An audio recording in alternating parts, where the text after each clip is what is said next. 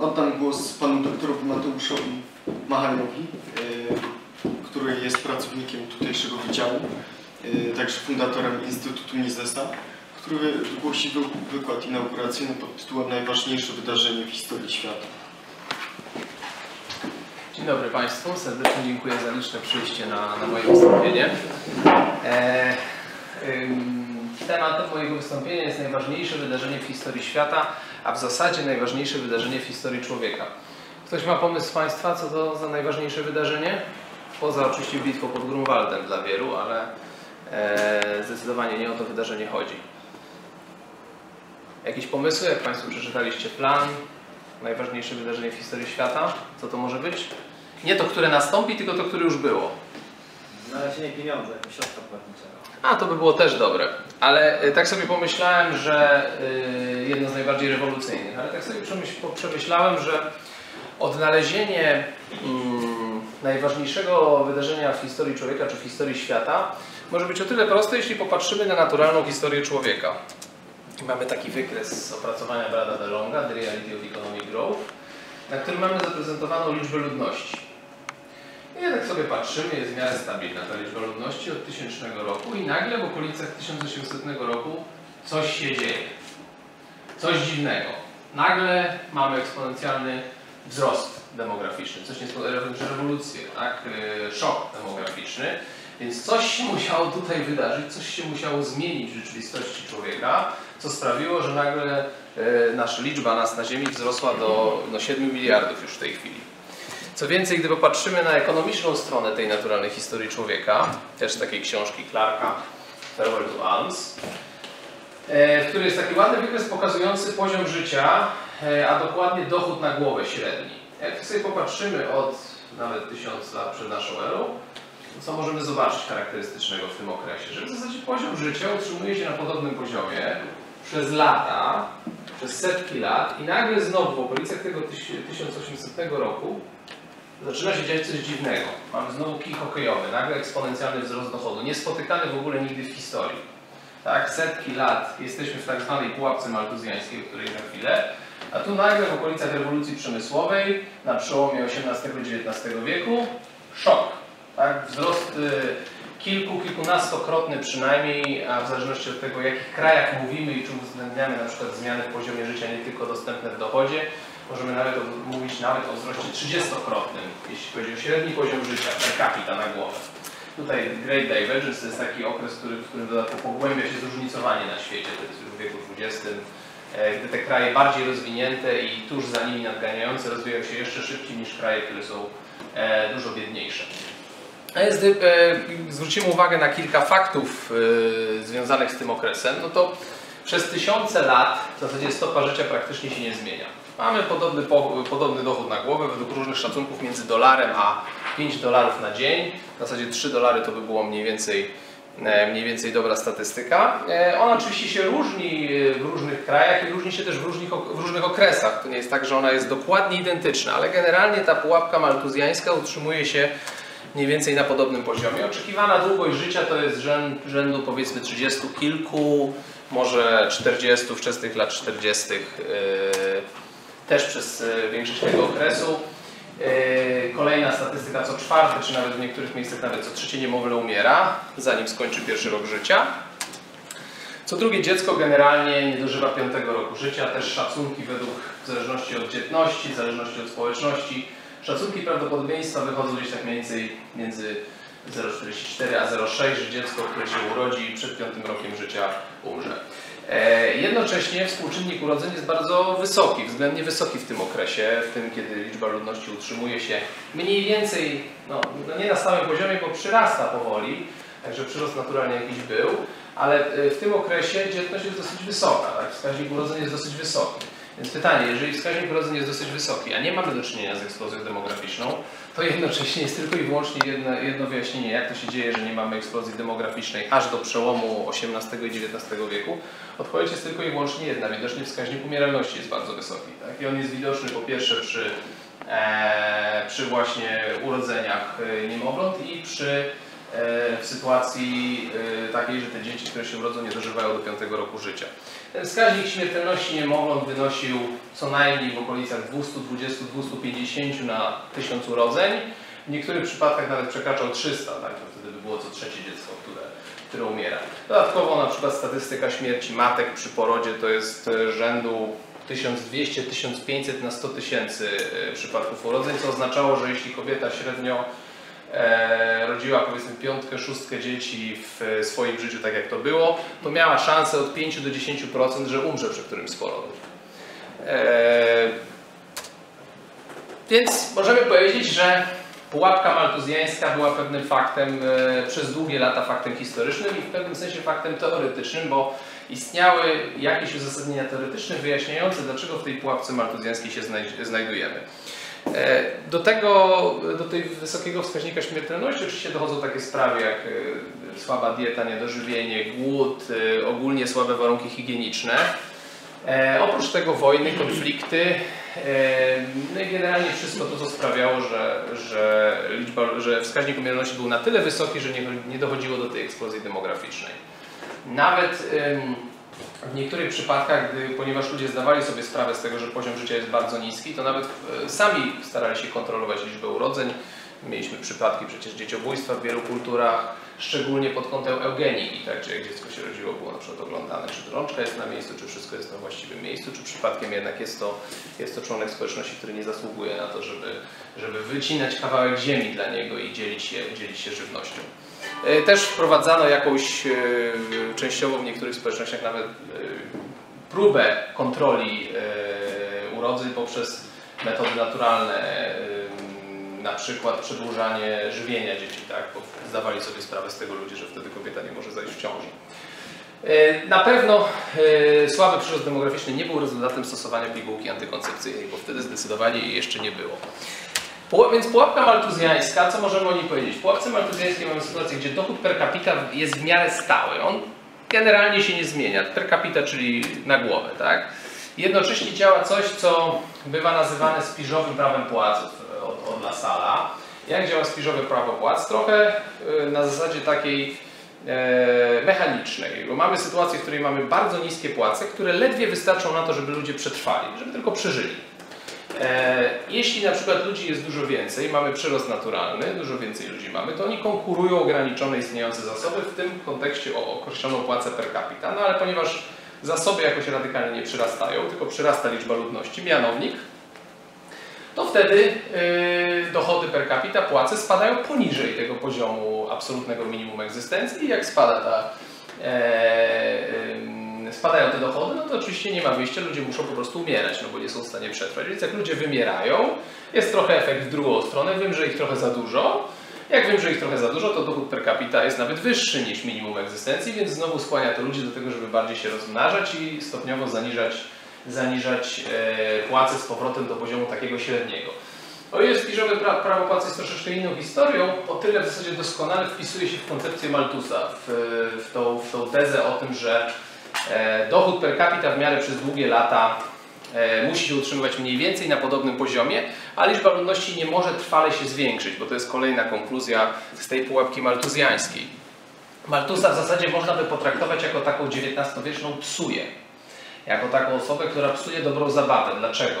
Dlatego, że on wydaje swoje opracowanie pod koniec wieku XVIII e, w sytuacji, w której widać już pewne zmiany, e, w, szczególnie w społeczeństwach zachodnich. Zauważalna jest zmiana w poziomie życia, szczególnie już na początku XIX wieku. Ten poziom życia się podnosi i już pierwsze sygnały eksplozji demograficznej są widoczne.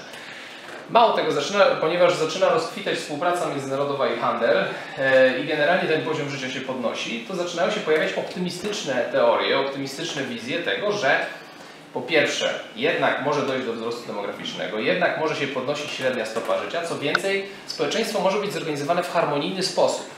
Bo generalnie, jeżeli e, w społeczeństwie może przyrastać liczba ludności i jednocześnie dobrobyt, to ludzie nie są w naturalny sposób ze sobą skonfliktowani. Tak, tak jakbyśmy mieli sytuację na statku na przykład, gdzie mamy zamknięty spichlerz, nie mamy dostępu do innych zasobów, tylko mamy ich ograniczoną liczbę, no to generalnie ludzie są w jakiś sposób ze sobą skonfliktowani, bo walczą o ograniczone zasoby.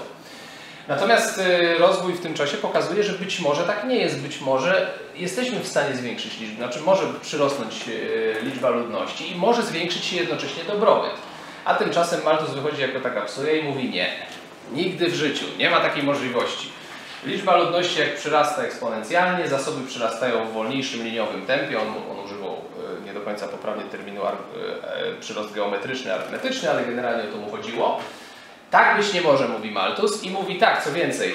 Zdarza się w historii, że jest właśnie przyrost demograficzny przez moment jakiś, albo że, przy, że są większe płace, ale to zostanie odwrócone. Siłą rzeczy prędzej czy później musi dojść znowu do tego, że będzie albo wojna, albo zaraza, albo w najlepszym wypadku kontrola urodzeń.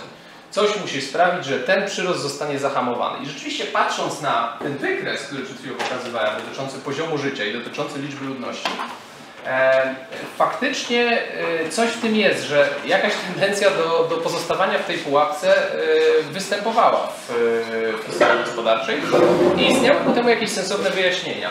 Ale ten wykres jest dobrym, dobrą rzeczą, ja lubię ją pokazywać, gdy ktoś zadaje pytanie, czy na przykład nauki społeczne to są w ogóle nauki. Czy można dostrzegać jakieś regularności, uniwersalne prawa w nich? I ten wykres dosyć dobrze to pokazuje. Co prawda sytuacja się zmieniła, jak widzimy, ale na tym wykresie dobrze widać, że, że rzeczywiście jakieś regularności są i że coś musiało się stać, musi istnieć jakieś wyjaśnienie tego faktu, tego najważniejszego wydarzenia w historii, którym jest ucieczka od pułapki maltuzjańskiej. I jak to się stało, że Maltus jako ta XIX-wieczna psuja jednak nie miał racji, bo okazało się, że przyrost ludności jest możliwy i przyrost per capita jednocześnie też. W tamtym czasie pojawiło się takie określenie, nie do końca wiadomo komu je można przypisać, są, są różne tezy, że to był Carlyle, ale, ale, ale to też być może nie, nie, nie, nie jest teza do obrony. Pojawia się taka teza, że ekonomia to jest ponura nauka. Bo jeżeli rzeczywiście poziom życia jest utrzymywany cały czas na tym samym poziomie, jeżeli ludzie konkurują o ograniczone zasoby i nie możemy mieć harmonijnego wzrostu, gdzie wszyscy korzystają na tym wzroście, tylko musimy walczyć między sobą, no to ekonomia w pewnym sensie staje się ponurą nauką, bo ona naucza o właśnie zarazach, wojnach, konfliktach, walce, walce klas, e, jakkolwiek rozumianej i nie naucza tak naprawdę o tym, że może dochodzić do harmonijnego wzrostu, takiego, w którym wszystkie, e, wszyscy członkowie społeczeństwa korzystają. To już Państwo wiecie, że najważniejsze wydarzenie w historii świata, w historii ludzkości, moim zdaniem, to jest ta ucieczka od pułapki maltuzjańskiej, czyli wyrwanie się z czegoś, co przez lata wydawało się jest niemożliwe e, do osiągnięcia. Osiągnięcie czegoś, co wydawało się mm, całkowicie człowiekowi niedostępne. Historycy i nie tylko historycy, teoretycy ekonomii lubią się zajmować tym zagadnieniem, bo to jest w gruncie rzeczy najważniejsze pytanie nie tylko w historii gospodarczej, nie tylko w teorii wzrostu, ale to jest tak naprawdę najważniejsze pytanie, jakie można zadać w całej teorii ekonomii. Jak to się stało, że wyszliśmy z pułapki maltuzjańskiej? Są również inne ważne pytania, jak lubią się ekonomiści zajmować na przykład wielkim kryzysem, czy ogólnie kryzysami gospodarczymi, ale to jest tak naprawdę pytanie wtórne. Tak? Bo dużo bardziej pierwotne pytanie jest takie, jak to się stało, że doszło do tak gwałtownego wzrostu gospodarczego? Jak to się stało, że uciekliśmy od pułapki, w której siedzieliśmy przez tysiąclecia tak naprawdę?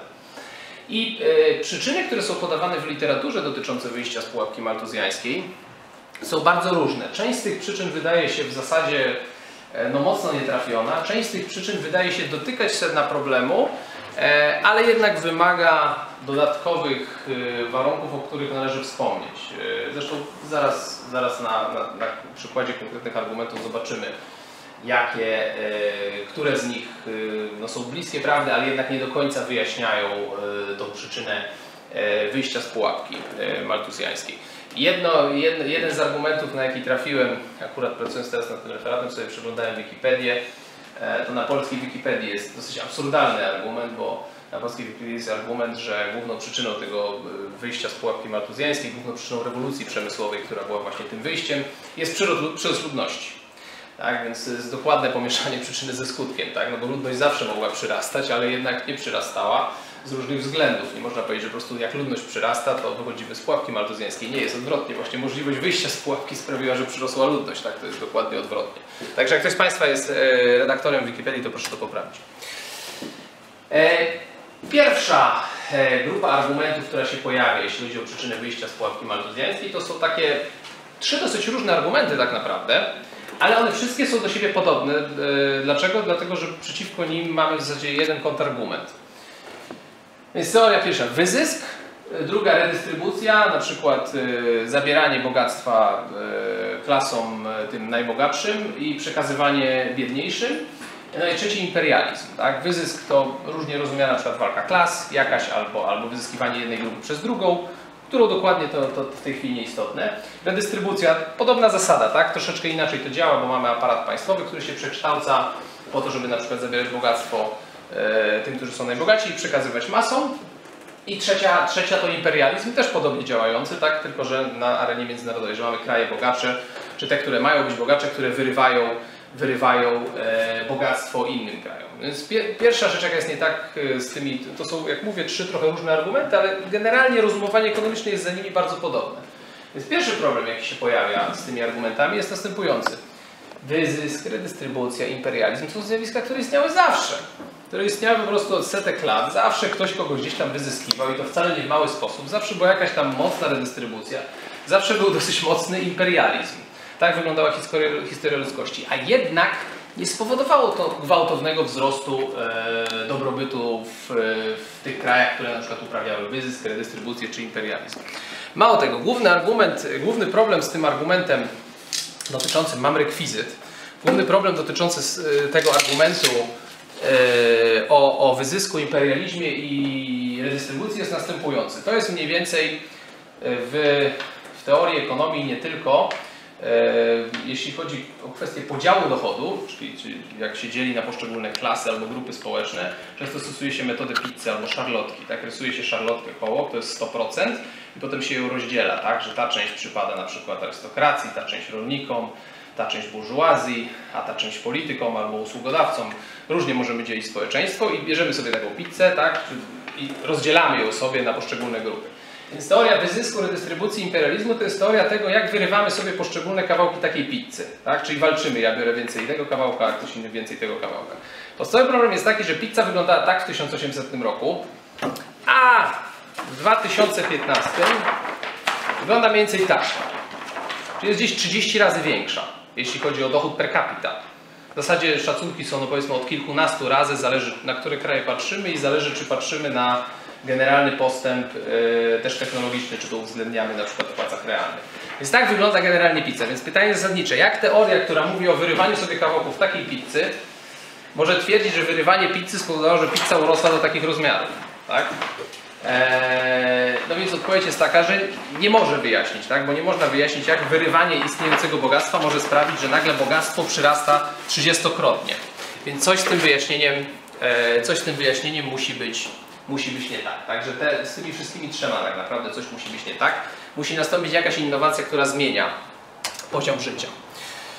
Kolejna grupa argumentów, która się pojawia, to są argumenty o genetycznych predyspozycjach. To wbrew pozorom sentyment jest dosyć mocny. Eee, sugestie, jakoby no, te ludy północne, no, nie wiem, błogosławione jakieś też argumenty mogą być religijne, że to były błogosławione ludy północne, albo że po prostu genetycznie lepiej przystosowane, albo że zadziała jakaś darwinistyczna ewolucja, która sprawiła, że najsilniejsi tam przetrwali, mieli najsilniejsze geny. Wersja też dotycząca argumentu inteligencji się pojawia, te genetyczne predyspozycje są akurat też argumentami Clarka, którego, którego, którego przytaczałem wykres z, z jego książki. E, genetyczne predyspozycje pojawiają się w argumentach na przykład takiego e, brytyjskiego Richarda Leeda, który napisał taką słynną książkę IQ and the Wealth of Nations, gdzie pokazuje korelację między poziomem inteligencji a, a bogactwem narodów. E, co jest nie tak z tym argumentem? No, po pierwsze, E, może od mniejszych argumentów zaczniemy. Bogactwo, jak przeanalizujemy gospodarkę rynkową, bogactwo nie jest rzeczą, która jest dziedziczona wielopokoleniowo. To znaczy ona się nie utrzymuje, bogactwo się nie koncentruje w gospodarce rynkowej wbrew pozorom w konkretnych rodzinach, tak jak w systemie arystokratycznym czy w systemie monarchicznym. Bogactwo w systemie gospodarki rynkowej się rozprasza. Jeśli na przykład weźmiemy listę 100 najbogatszych osób dzisiaj e, w Stanach Zjednoczonych i porównamy ją do listy 10 lat temu, 20 lat temu, 30 lat temu, 50 lat temu, 100 lat temu, to zobaczymy, że wcale bogactwo nie przechodzi dokładnie e, z pokolenia na pokolenie. Nie jest tak, że ono się akumuluje w istniejących dokładnie rodzinnych koneksjach, tak? ono nie rozpływa się genetycznie. E, oczywiście, jeżeli ktoś jest bogaty, to zostawia bogactwo swoim dzieciom, ale on akurat się rozbija na, na kolejne potomstwo i potem na kolejne potomstwo. Co więcej, nie ma gwarancji, że kolejni potomkowie będą w stanie utrzymać ten kapitał, bo na rynku kapitał się utrzymuje nie biernie go akumulując, tylko aktywnie go alokując. W związku z tym w gospodarce rynkowej nie ma rzeczywiście śladów genetycznych dokładnie, które moglibyśmy sobie prześledzić, które pokazują, że, e, że sukces rzeczywiście byłby genetyczny. Więc to jest jedna sprawa. Druga sprawa, e, rewolucja przemysłowa i gwałtowny wzrost zaczęły się, można powiedzieć, w Holandii, ale na największą skalę w Wielkiej Brytanii, a potem inne kraje zachodnie zaczęły podążać tym tropem.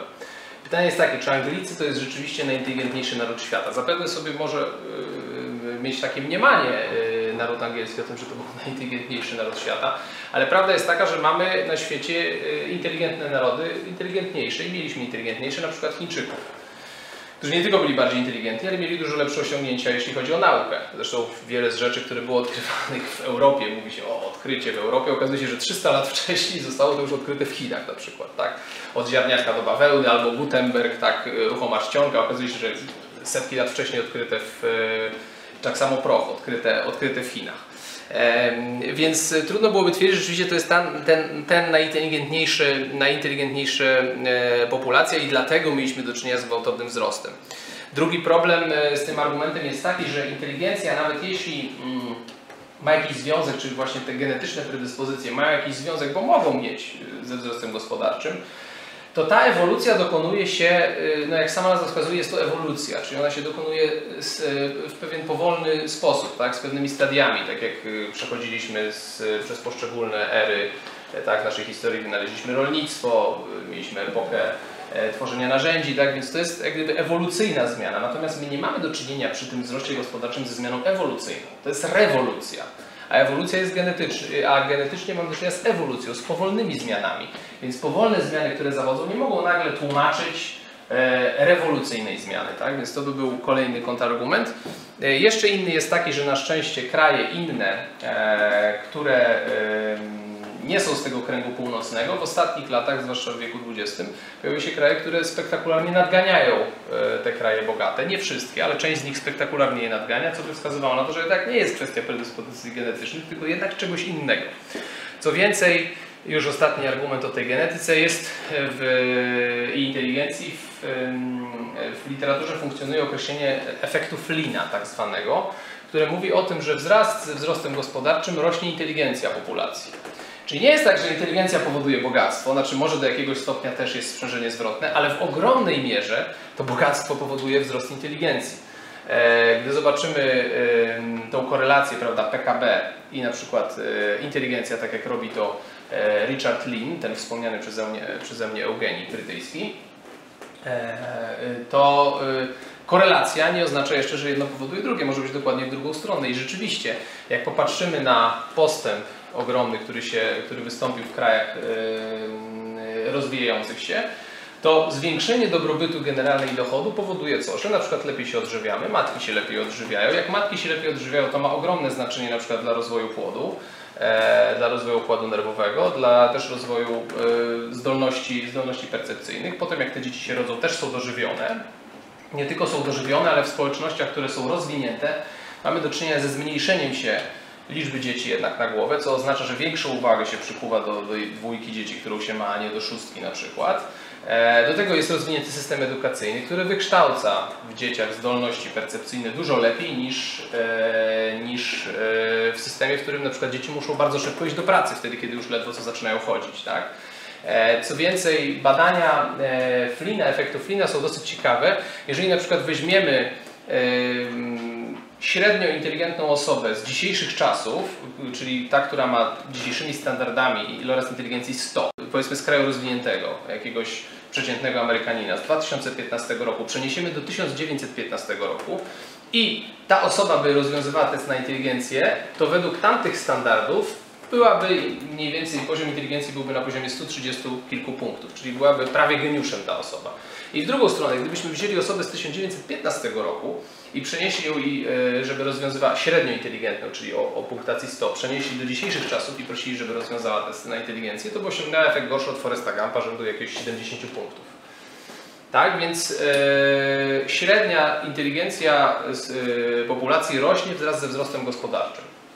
Także tak naprawdę jest to sprzężenie zwrotne. Oczywiście ja tutaj nie, nie, nie chcę rozwiązywać kwestii dokładnych, co jest przyczyną inteligencji jak ją definiować, ale To, co w tej chwili powiedziałem, spokojnie wystarczy do tego, żeby odrzucić teorię, jakoby inteligencja była tym fundamentalnym czynnikiem, który jest w stanie wyjaśnić ucieczkę od pułapki maltuzjańskiej i źródła wzrostu gospodarczego.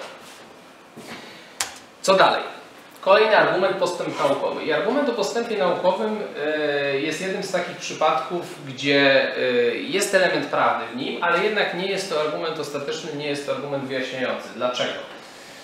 E, Deidre McCloskey, która jest autorką wybitnej książki na temat ucieczki od pułapki maltuzjańskiej, zresztą będę się na nią jeszcze powoływał, e, użyła takiej dobrej metafory, mówiąc, że niektóre z tych argumentów o tym, dlaczego uciekliśmy z pułapki maltuzjańskiej, to są argumenty, e, które można by zastosować, które, które można by porównać do argumentach o roli alfabetu w tworzeniu dzieł Szekspira. Zadajemy pytanie na przykład, dlaczego Szekspir stworzył wybitne dzieła. Wiem, niektórzy mówią, że nie i twierdzą, że to wcale nie jest wybitnego, tak? Ale powiedzmy, załóżmy, że stworzył wybitne dzieła i zastanawiamy się, dlaczego Szekspir stworzył wybitne dzieła. I ktoś może odpowiedzieć, jak to dlaczego? Bo miał alfabet. Tak? No przecież bez alfabetu by nie stworzył. Tak? No, potrzebował alfabetu, żeby stworzyć swoje wybitne dzieła. I w tym argumencie oczywiście jest element prawdy.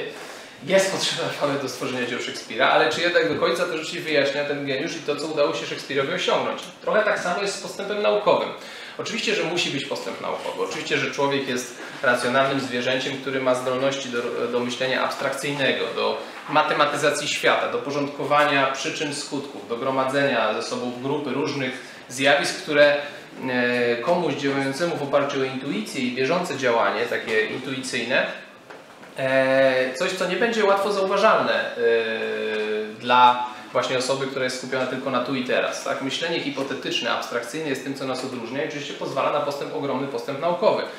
Ale sam fakt jeszcze stworzenia jakiejś wiedzy teoretycznej jeszcze nie oznacza, że ta wiedza teoretyczna zaczyna być, y, przekształca się w coś, co zmienia permanentnie nasze życie, tak, że y, prawda, rośnie, rośnie nasz dochód na głowę w kilkanaście do 30, do 30 razy.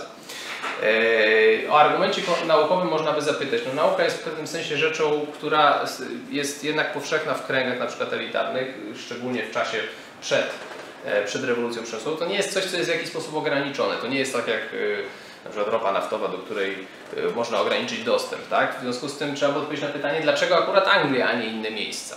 Anglia nie była wcale jakimś centrum naukowym, oczywiście miała swoich wybitnych naukowców, ale nie była wcale jakimś jedynym, wyłącznym ośrodkiem naukowym. Mieliśmy ośrodki naukowe przecież w Europie kontynentalnej. Mało tego, wracając do przypadku chińskiego, wiele z odkryć naukowych pojawiło się już wcześniej w Chinach, a jednak do wzrostu gospodarczego radykalnego tam nie doszło. E, I wreszcie y, najistotniejszy kontrargument. Z postępem naukowym jest tak, właśnie już o tym trochę wspomniałem, że on musi się przekuć w coś praktycznego. Tak? Czyli to nie jest tak, że coś wymyślimy, jakąś wiedzę teoretyczną, tylko musimy jeszcze stworzyć jakąś inwencję. E, Coś, coś konkretnego, co poprawi nasze życie i sprawi, że, że, że, że stopa tego życia się, się znacznie podniesie. I tu przechodzimy do trochę bardziej mm, argumentu, który jest trochę bliżej prawdy, mianowicie postęp w technologii, czyli nie tyle wiedza naukowa, tylko postęp w technologii. Czyli e, wynalezienie jakichś nowinek technologicznych, które poprawiają naszą stopę życia. Znowu, trochę jak argument z alfabetem e, przy Szekspirze. Jest to rzecz, która jest absolutnie potrzebna i która sprawia, że uciekamy od pułapki maltuzjańskiej, ale e, sama zmiana, samo odkrycie jakieś technologiczne nie, e, nie sprawia, że radykalnie e, zmienia się nasz poziom życia. Tak? Ta zmiana w technologii, ona tak naprawdę wymaga całego procesu przemian ekonomicznych i społecznych, które muszą zajść, żeby nasza stopa życia się podniosła. Jak to rozumieć? Ekran dotykowy na przykład był wynaleziony, jeśli chodzi o technologiczną e, innowację. Pojawił się jeszcze w latach 60., na przykład lat 60., 70., a jednak prawda, trochę czasu minęło, zanim został skutecznie zaimplementowany. Internet e, jako p- pewien wynalazek pojawił się już dawno, dawno temu, tak można różnie liczyć, ale lata 80. nawet można spokojnie liczyć, a jednak zanim stał się czymś, taką innowacją, która całkowicie prze- przeorganizowała nasze życie, to jednak trochę czasu e, musiało minąć. E, I jeszcze inny przykład, który akurat bardzo lubię podawać. James Dyson. Ktoś słyszał o Jamesie Dysonie? A więc James Dyson to jest człowiek, który zrewolucjonizował rynek odkurzaczy. Wynalazł odkurzacze bezworkowe, które y, no, sprawnie działają, także nie wyrzucają na zewnątrz tego, co wciągną. E, Miał problem z y, odkurzaczami workowymi taki, że y, traciły siłę ssania w pewnym momencie, prawda, bo musiały tracić, bo się zatykały, jak coś wciągało z jednej strony i wypuszczało powietrze. I James Dyson sobie kiedyś spacerował po tartaku i zobaczył odpylacz cyklonowy. E, Odpylacz cyklonowy, który miał kilka metrów wysokości. Odpylacz cyklonowy działa tak, że wpuszczamy z ogromną siłą powietrze, które jest zanieczyszczone jakimiś pił, pył, pyłkami, na przykład drewna. I tak mocno e, poddajemy, tak dużą siłą używamy do wirowania w tym odpylaczu cyklonowym, że w tym cylindrze te cząstki stałe, które się odbijają z powodu siły odśrodkowej, one się odbijają i upadają z grawitacją w dół, a czyste powietrze sobie wylatuje do góry. I James Dyson sobie stwierdził, o, świetny pomysł, dlaczego nie zrobić odkurzacza w ten sposób? E, więc e, zobaczmy, że od tego się zaczyna tak, mamy, mamy krok po kroku, mamy pewien postęp naukowy. Wiedza dotycząca siły odśrodkowej generalnie istniała już setki lat. Tak? Ale jednak to jeszcze nie sprawiło, że mieliśmy końcowy produkt, który poprawił życie nas jako konsumentów. Od wiedzy musimy przejść do inwencji. Kolejny przy, przypadek, kolejny etap inwencji to był właśnie taki odpylacz cyklonowy. Ale teraz Dyson przychodzi i wymyśla swoją inwencję. Zrobię taki odpylacz cyklonowy i wsadzę go do odkurzacza. No tak, tylko że jeszcze zanim to zrobił, wykonał 5000 prototypów. I dopiero po 5000 prototypów stworzył coś konkretnego, co już było funkcjonalne technologicznie. Ale nawet to jeszcze nie jest końcem. Dlaczego? Dlatego, że stworzenie czegoś funkcjonalnego technologicznie jeszcze nie oznacza stworzenia masowej produkcji, która sprawi, że wszyscy konsumenci będą mogli korzystać z, tego, e, z tej innowacji i poprawić swój poziom życia. I tak przychodzimy poszczególnymi etapami, jest takie ładne szumpeterowskie rozróżnienie na stadia przedsiębiorczości. Mamy inwencję, innowacje, a potem mamy imitację. I tak naprawdę zatwierdzenie pozytywne produktu jako czegoś, co podnosi nasz poziom życia jest na samym końcu, kiedy już pojawia się imitacja, kiedy konkurencja zaczyna działać. Przed tym mamy inwencję, czyli Dyson widzi odpylacz cyklonowy, konstruuje 5000 prototypów, tworzy coś nowego i teraz jak stworzy, stworzył dopiero tą inwencję z sukcesem, musi zrobić innowację. Co to znaczy, że musi zrobić innowację? To musi wziąć obecne metody produkcji, popatrzeć, gdzie są rynki, jakie są surowce, ile kosztują, jakich trzeba pracowników zatrudnić, jak wyglądać będzie logistyka, jak będzie wyglądać rozmieszczenie produktu, kto będzie nim zainteresowany. Istniejące tak zwane, co się nazywa w ekonomii, funkcjami produkcji, bierze istniejące funkcje produkcji i wpycha w nie jakąś innowację, wpycha w nie coś nowego, co pozwoli na masową produkcję. Następnie dopiero jest test rynkowy i konsumenci mówią, to jest pożądane, to nie jest pożądane. Bo Dyson tak naprawdę zabiera trochę zasoby innym przedsiębiorcom, tak? Jak zauważa, że to jest produkt, który może być przydatny, jest gotów za niego zapłacić, ale żeby zapłacić musi ściągnąć czynniki produkcji, czyli musi zabrać pracowników z konkurencyjnych branży. Tak? I ten test rynkowy sprawia, że dopiero jak konsumenci powiedzą tak, to jest coś, czego pożądamy i tak zrobili akurat w przypadku Dysona, dopiero wtedy jak wydadzą taki sygnał, wtedy yy, nasza wtedy rzeczywiście zostaje wprowadzona z sukcesem innowacja, która podnosi naszą stopę życia. Tak jak na przykład pralki, które radykalnie zradykalizowały nasze życie, szczególnie życie kobiet, bo to dzięki pralkom kobiety mogą dzisiaj e, być na rynku pracy tylko i wyłącznie. Mm. Oczywiście nie tylko i wyłącznie, ale to jest jeden z głównych czynników. Tak? Jak kiedyś pranie musiał robić człowiek, e, no to generalnie kończyło się to tym, że pranie oczywiście robiła kobieta, to była ciężka, bardzo ciężka praca, trwało to wiele godzin. Zresztą zawsze kobiety ciężej pracowały i przez historię człowieka mężczyźni to prawda sobie chodzili i o widzisz tego mamuta, jak go upolowałem, o, tak, i sobie rozmawiali. E, z argumentem jeszcze E, tym technologicznym, żeby, żeby trochę podać przykład, Dyson jako wybitny wynalazca na przykład wymyślił świetną pralkę. Mianowicie pralkę, która prała dużo, wyraźnie lepiej, może czy dużo to można yy, się spierać, ale pralkę, która była w stanie produkować, która była w stanie prać lepiej niż inne pralki konkurencyjne na rynku, on wpadł na pomysł, żeby zrobić dwa bębny w środku. Jeden bęben się obracał w jedną stronę, drugi w drugą, więc trochę to działało jak takie prawda, skuteczne pranie raz w jedną, raz w drugą stronę, nie że wszystko się obraca w jednym kierunku. I wymyślił technologicznie dobrą inwencję, e, stworzył produkt, który rzeczywiście funkcjonował, ale nie udało mu się z sukcesem wprowadzić innowacji, bo produkt po prostu nie przyjął się na rynku, tak? bo jednak konsumenci wysłali sygnał, nie, nie jesteśmy tym zainteresowani i pralka okazała się katastrofą. Tak? Więc tak naprawdę innowacja nie została z sukcesem zaimplementowana. I teraz pytanie, co jest tym najważniejsze, które etapy są tutaj najważniejsze? Czy rzeczywiście jakiś postęp naukowy wczesny, że zrozumieliśmy działanie siły odśrodkowej? No musieliśmy zrozumieć. Czy sama inwencja, ktoś wymyślił odpylacz cyklonowy, czy nawet sama inwencja już wprowadzona w konkretny prototyp, który jest sukcesem stworzony, tak jak Dyson? E, nie, dopiero jak to zaczyna się zmieniać w innowacje, zaczyna się zmieniać w masową produkcję, czyli jak mamy przedsiębiorcę, który przekształca konkretną inwencję w jakąś innowację, która z sukcesem zmienia nasz poziom życia. Argument, który też się przewija, dostęp do zasobów. E, to jest wbrew pozorom szczególnie częsty argument, jak czytamy teksty historyczne na przykład. Otwieramy teksty historyczne i czytamy No dlaczego w Anglii? No, no bo węgiel tam był, tak? No dlaczego w Anglii doszło do rewolucji przemysłowej? Bo był węgiel, po prostu był węgiel. E, jaki jest problem z tym argumentem? No, bez wątpienia historycznie patrząc, węgiel odegrał bardzo ważną rolę. Ale po pierwsze, węgiel był tam zawsze. To jest, to, to jest jedna sprawa. Druga sprawa jest taka, że węgiel też był w innych miejscach. Na przykład węgiel był w Chinach, zasoby węgla, e, które można było wykorzystać, a jednak w Chinach nie doszło. Tak? Popatrzcie Państwo, mamy w Chinach w ogóle 300 milionów ludzi, w Wielkiej Brytanii mamy 6 milionów ludzi.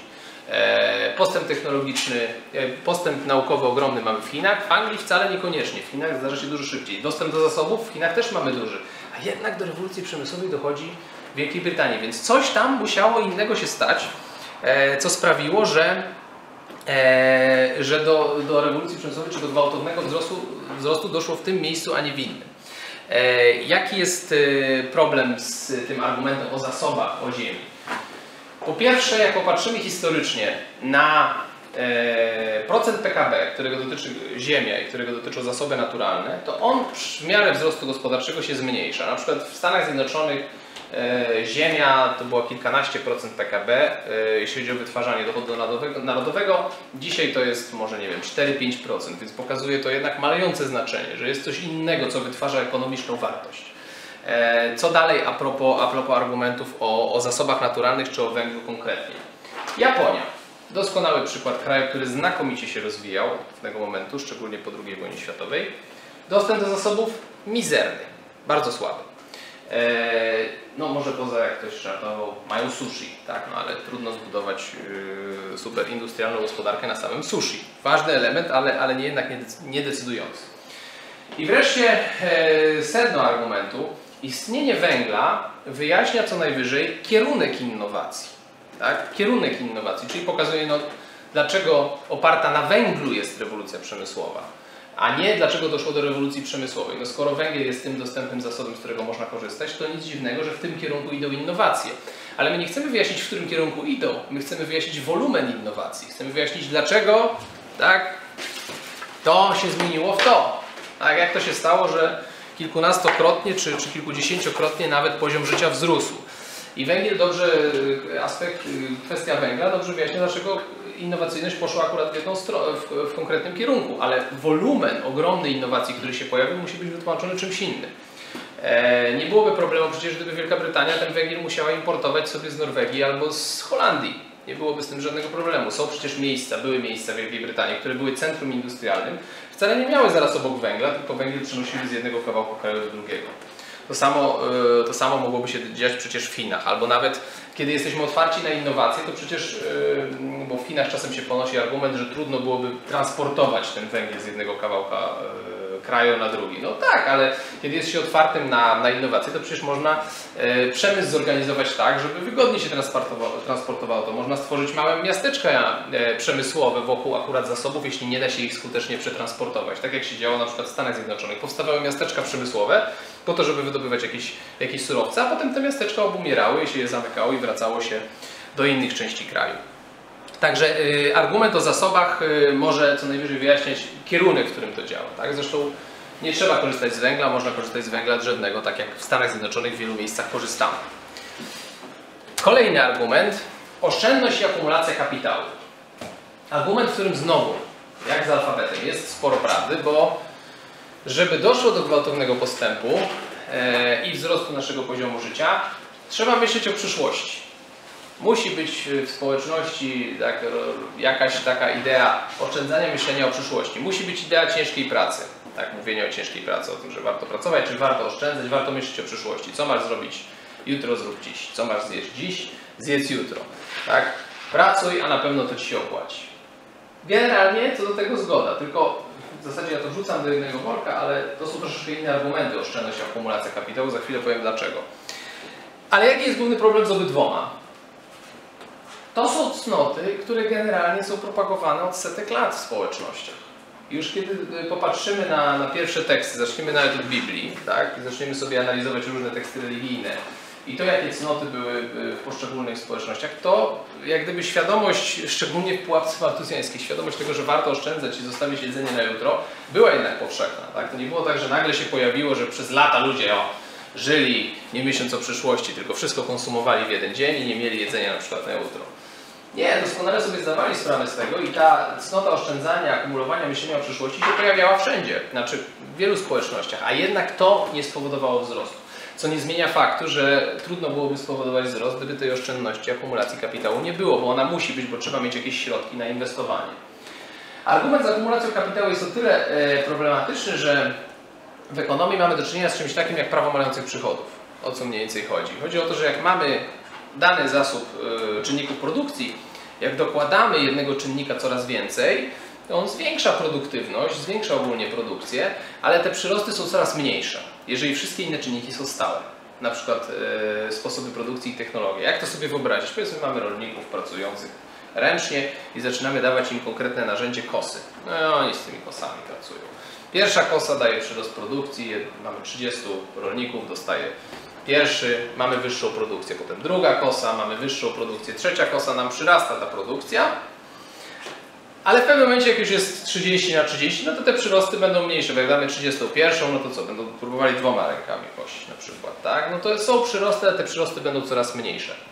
Co musi nastąpić po, poza akumulacją kapitału? Musi się zmienić sposób produkcji. Musi się zradykalizować coś, jeśli, jeśli chodzi o kwestie narzędzi. To znaczy, jak mamy akumulację kapitału, to musimy wymyślić nowe narzędzia, nowe pomysły, nowe sposoby rozwiązywania problemów. Czyli musimy e, wprowadzić jakąś zmianę, coś co w funkcjach produkcji się pojawia jako A, e, które są rysowane, w, e, które są przedstawiane w tak zwanej ekonomii głównego nurtu. A, takie niewytłumaczona pozostałość, ogólna produktywność czynników produkcji.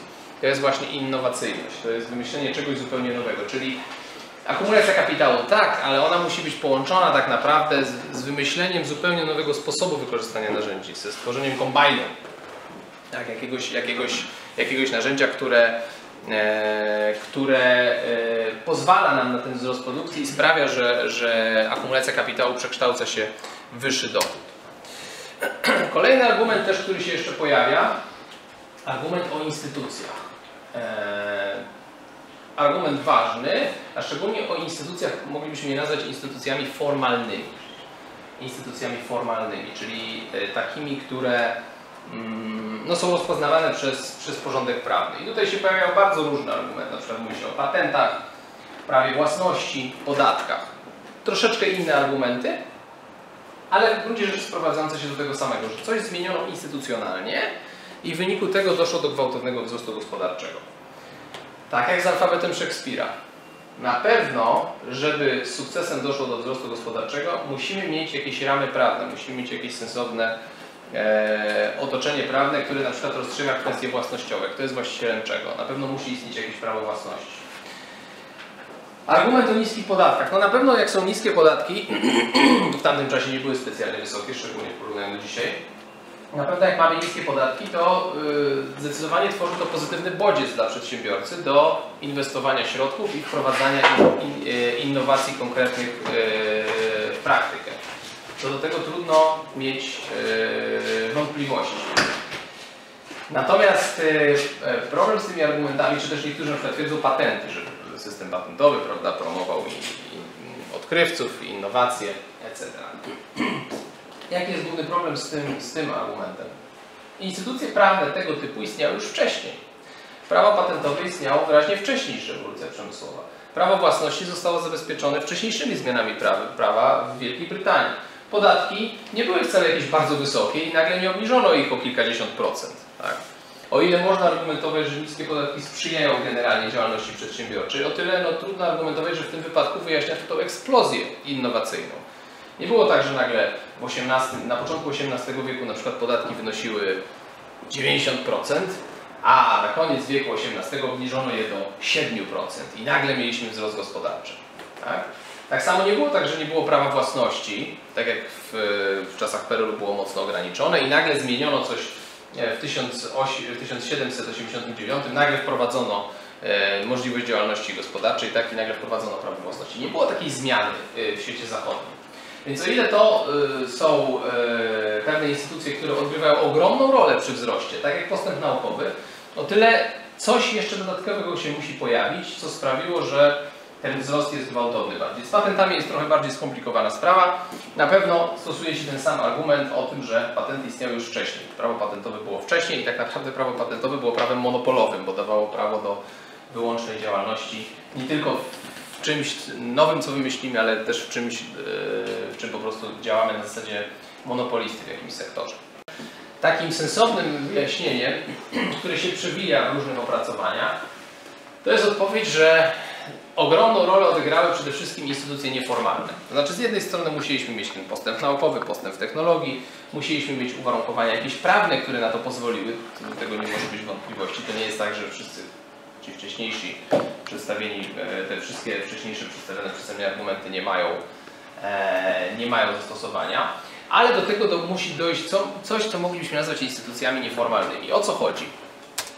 Chodzi o ideę, o ideę i myślenie społeczne. Chodzi o zmianę przede wszystkim wizerunku przedsiębiorcy i burżuja.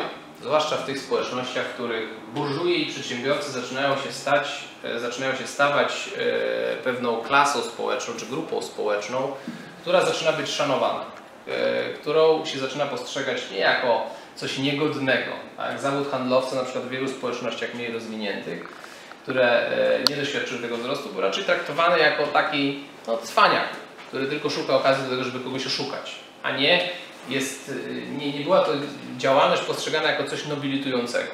Oczywiście zmiany w tym myśleniu i w ideach są dostrzegalne e, przede wszystkim właśnie w tamtym okresie i to jest taka główna hipoteza Deidry McCloskey, co do której ja osobiście się skłaniam, e, że to co odróżnia te społeczeństwa tak zwane zachodnie, czy tam północne plus Nową Zelandię i Australię, to co je odróżnia to właśnie generalnie poszanowanie dla zawodu przedsiębiorcy. Ono wcale nie jest powszechne i ono też potrafi obumierać momentami w tych społecznościach rozwiniętych.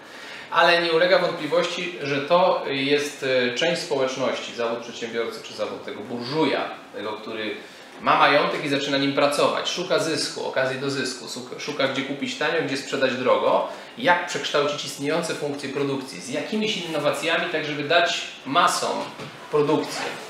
Ten zawód zaczyna być zdecydowanie bardziej poważany i yy, myślenie społeczne, które się wyraża nie tylko prawda, zmianami w prawie, bo to nie chodzi o to, że mamy formalne instytucje. Chodzi o to, że generalnie jest społecznie przyjazne środowisko dla innowacyjności, dla e, takich ludzi, którzy takie innowacje, które radykalizują nasze życie, wprowadzają. Bo jeżeli nawet będziemy mieli społeczność, w której e, jakieś formalne reguły rzekomo obowiązują, ale na przykład społeczność będzie miała system religijny albo system kulturowy, który tępi innowacyjność, albo sposób myślenia o społeczeństwie jako grze o sumie zerowej.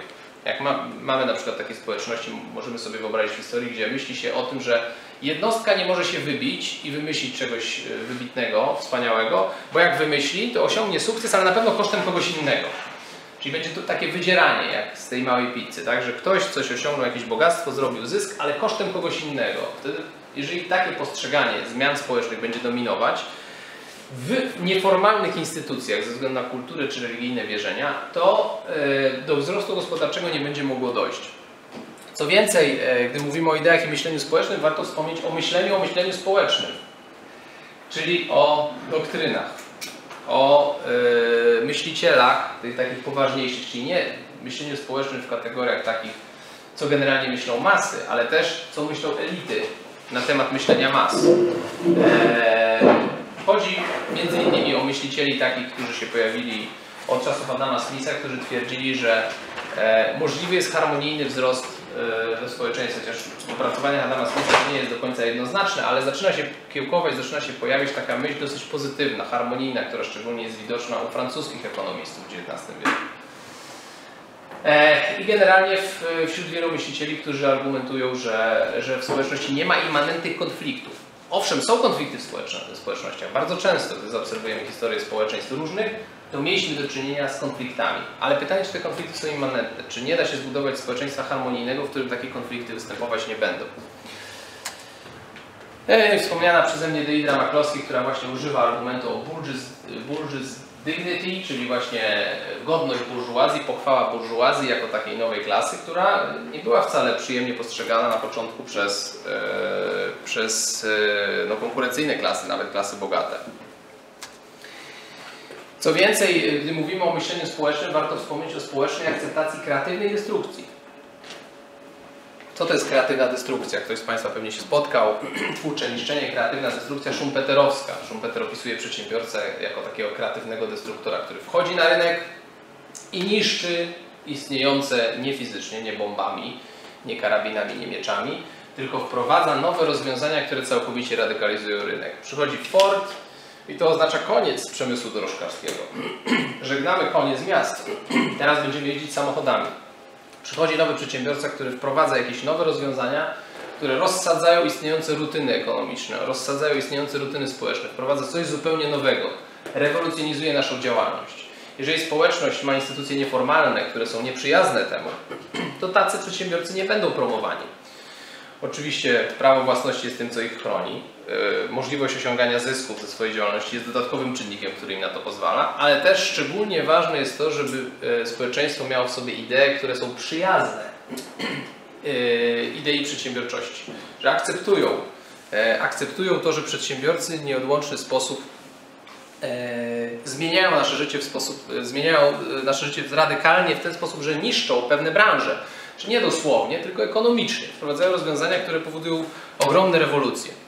Do tego oczywiście tutaj trzeba podkreślić, że ta, te argumenty o instytucjach formalnych, czyli prawnej ochronie, yy, możliwości czerpania owoców, yy, konkretnych zysków finansowych ze swojej działalności też, też należy uwzględnić.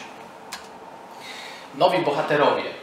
Można by powiedzieć, że yy, ostatnie 200 lat yy, w historii tak zwanego Zachodu oznacza zmianę postrzeganiu tego, kto jest bohaterem i jakim chcemy być bohaterem, albo kolejne pokolenia, jakimi stać, chcą stać się bohaterami. Dla nas bohaterami nie są Aleksander Wielki, Napoleon, Winston Churchill nawet, tak? Dla nas bohaterami stają się osoby, które całkowicie zmieniają nasze życie za pomocą przedsiębiorczych innowacji, tak? Ludzie chcą być Jamesem Dysonem, Steve'em Jobsem, e, który zrewolucjonizował nasze życie, ogromnie przyczynił się do tego, tak jak smartfony zmieniły to, jak żyjemy. Chcą być Larrym Page'em, który zniszczył rynek reklamowy e, e, za pomocą Google'a, tak? całkowicie zmienił sposób działania rynku reklamowego przez to, że, że wprowadził Google'a. Chcą być Jeffem Bezosem, tak, tak jak Amazon, który w zasadzie rozsadził e, rynek księgarni i e, papierowych, e, papierowych książek, e, a niedawno z własnego majątku bodajże kupił za bagatela ćwierć miliarda Washington Post, który istniał wiele pokoleń. Tak? E, Chcą być na przykład Travisem Kalanikiem, który wymyślił Ubera, który właśnie w tej chwili na całym świecie rozwala przemysł taksówkarski, bo wymyśla zupełnie nowe sposoby e, podróżowania. Tak? Pozwala się łączyć różnym, e, pozwala się łączyć różnym kierowcom razem z klientami, którzy chcą korzystać z usług. Coś przeciwko czemu, jak popatrzymy na społeczeństwa zachodnie, pojawia się opór. Tak? Bo to nie jest tak, że, oni, że nie ma żadnego oporu, takiego swoistego luddystycznego. Tak? Luddyści to byli ci ludzie, którzy niszczyli maszyny, bo twierdzili, że to zabiera miejsca pracy. To luddyzm tak naprawdę cały czas jest wiecznie żywy w pewnej formie. Dlatego, że pojawia się opór przeciwko jakimś tam e, innowacjom, które, które pozwalają zaoszczędzić zasoby i pozwalają stworzyć coś w większej ilości dostępnego dla mas.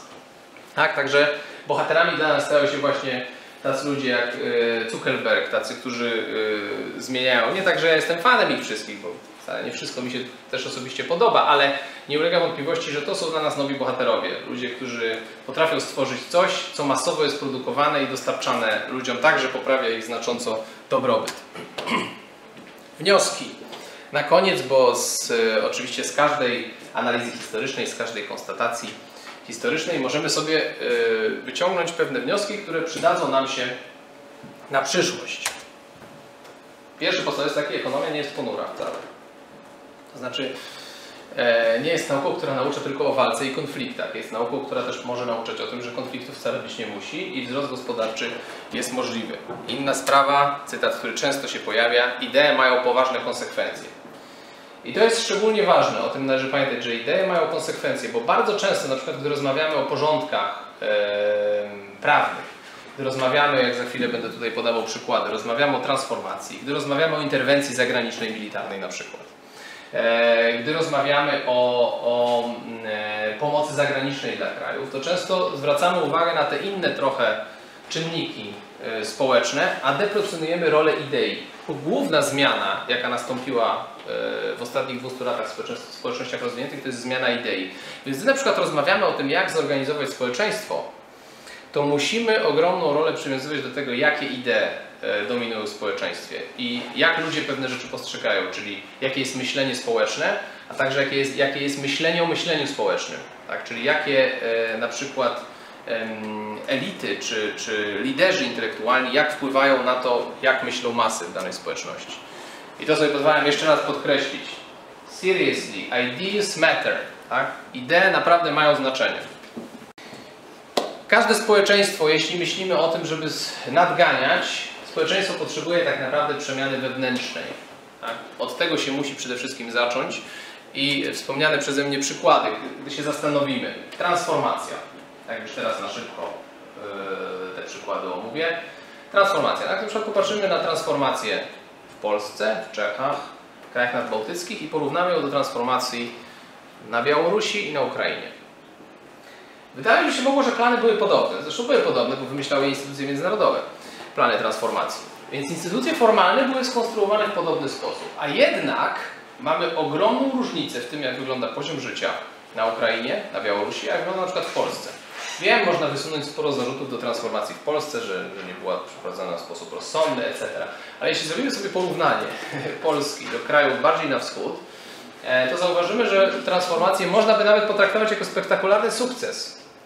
E, więc pytanie dlaczego, jeśli instytucje formalne, które wymyślono, były podobne, dlaczego te instytucje formalne zadziałały inaczej tutaj, inaczej tam? Odpowiedź, bo istniały inne nieformalne instytucje.